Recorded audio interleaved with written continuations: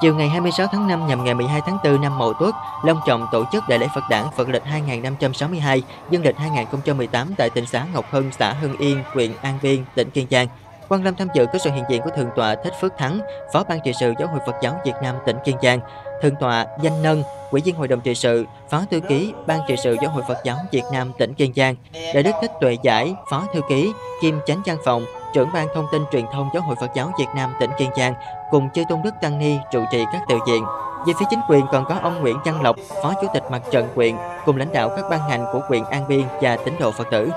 Sau chương trình văn nghệ và dân qua cúng dường kính mừng ngày đản sanh Đức Bổn Sư Thích Ca Mâu Ni của các Phật tử, toàn thể hội chúng được lắng nghe thông điệp Phật đản Phật lịch 2562 của Đức Pháp chủ Giáo hội Phật giáo Việt Nam do Thượng tọa Thích Phước Thắng tuyên đọc. Thông điệp được gửi đến chư tôn hòa thượng Thượng tọa Đại đức Tăng Ni, Phật tử Việt Nam ở trong nước và ở nước ngoài.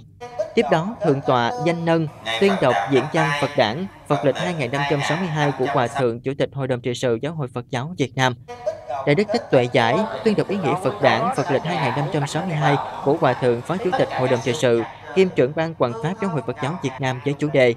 Diễn dương tinh thần Bồ Tát hạnh, góp phần xây dựng các giá trị đạo đức xã hội. Sau phần lễ hành chánh, toàn thể chư tôn đức tăng ni Phật tử thành kính trang nghiêm cử hành khóa lễ khánh đảng trước Phật lần thứ 2642 theo nghi thức truyền thống của Phật giáo Bắc Tông và Nam Tông.